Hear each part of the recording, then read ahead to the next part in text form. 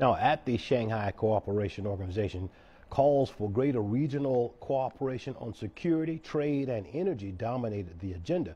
But also on the agenda, looming issues of uncertainty in Syria and in Afghanistan. CCTV's Roy Rottenberg has more from Bishkek. It was the right support at the right time for Vladimir Putin, the Russian president getting a resounding endorsement from reliable friends for his initiative on Syria, just when the world is watching. One after another, the SCO leaders backed Kremlin efforts to put Damascus's chemical weapons under international control. My colleagues have already said that Syria is in the main focus of our attention. We believe that any military intervention into this country from abroad without the sanction of the United Nations Security Council is unacceptable. We support Russia's proposal to put chemical weapons in Syria under international control. We support all these efforts.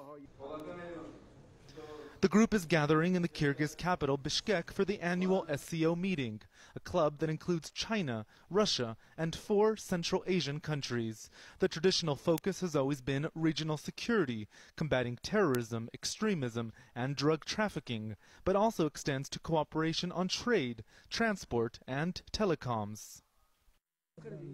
Also on hand, the new Iranian president. In office for just a month, this is Hassan Rouhani's first trip abroad, and he used his comments before the group to defend his country's nuclear energy aims.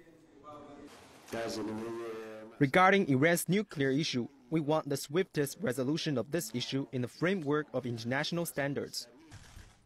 Rouhani isn't leaving Bishkek empty handed. In a meeting with the Russian president, the two finalized an agreement that would see Moscow selling Tehran S 300 anti aircraft missiles and building a new nuclear reactor at the Bushehr facility.